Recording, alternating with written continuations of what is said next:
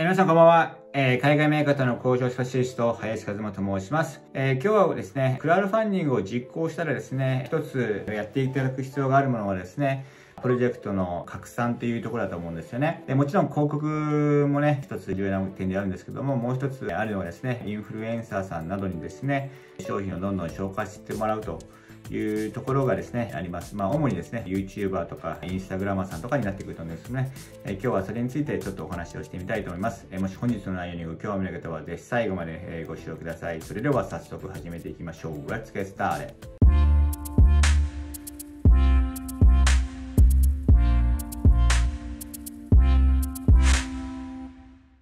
はい、えー、そうですね、早速本日のコンテンツの方を始めさせていただこうと思います。もし皆さんがですね、クラウドファンディングで自分のね、商品をやっていく場合っていうのはですね、例えばそれが30日間、60日間とかの間であれば、なるべく多くのね、商品を売りたいですし、それをね、拡散していくっていうのはですね、実行者である我々の任務になってくると思うんですけども、一つの拡散していくチャンネルの中としてですね、インフルエンサーマーケティングというのがあります。で、インフルエンサーマーケティングというのはですね、YouTube とか Instagram とかでもですね、Facebook もそうですけども、いろんな商品を紹介してレビューをすることをですね、え仕事にしてらっしゃる YouTuber さんとかがやっぱりいらっしゃるわけですよ。まあ、そういったところの YouTuber さんにこうまあ連絡を取っていきながらですね、商品のレビューをお願いしていくっていうものが一つになります。例えばこの YouTube とかですね、ガジェットスペースレビューとか、えー、商品スペースレビューとか、そういった感じで検索をしていくとですね、まあいろんな商品をね、レビューしている YouTuber さんがいらっしゃいます。なので、そういったところですね、YouTuber さんなどをですね、見て、例えばですね、まあ、こんな感じで、え商品をですね、レビューしてくれるサイトですね。あるんで。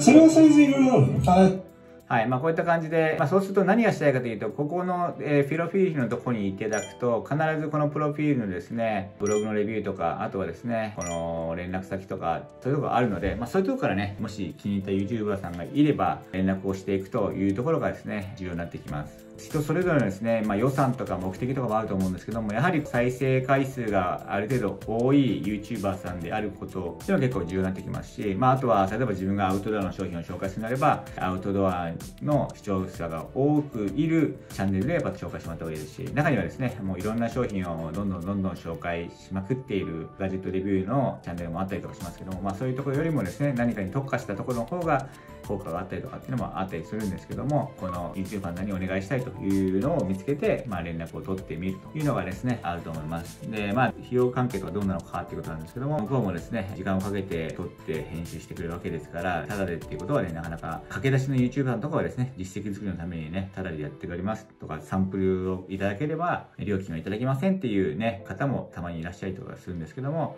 大体はですね、チャンネル登録者数に応じてですね、金額が変わってきたりとかしますので、まあ、その辺はですね、問い合わせしながら、あいみつを取っていったりとかしながら最終的に決めていくっていうのもですね、いいんじゃないかなというふうに思います。インスタのマーケティングっていうのは、クラファンでがっつり売るためのマーケティングっていうよりも、まあ、どちらかというとこう、メーカーさんに対してもね、ちゃんと YouTube でのインフルエンサーマーケティングやってもらってますよっていうところのアピールというところもやっぱあると思います。本当にいい YouTuber さんでればですね、そこから新たに売れていくっていうところもあるんですけども、まあやっぱり YouTube を見に来ている人っていうのはね、その人のコンテンツを楽しみに見ているわけであって、商品を購入したい人ばかりではないので、紹介してもらった人イコール、それがそのまま売り上げに直結するっていうところはちょっとね、違うところもあるんですけども、長い目で見てインフルエンサーマーケティングのですね、やっておくことによって、その商品の認知度が拡散されていくっていう意味ではですね、非常に有効的な方法だと思ってます。なので、まあ、その一つの方法として、YouTube もしくは Instagram さんにこちらの方からアプローチをして、商品のレビューしていただけませんかっていう話をですね、どんどんしていくっていうのはね、一つできる方法かなと思います。自分でね、Facebook とか広告を打っていく以外にですね。はい。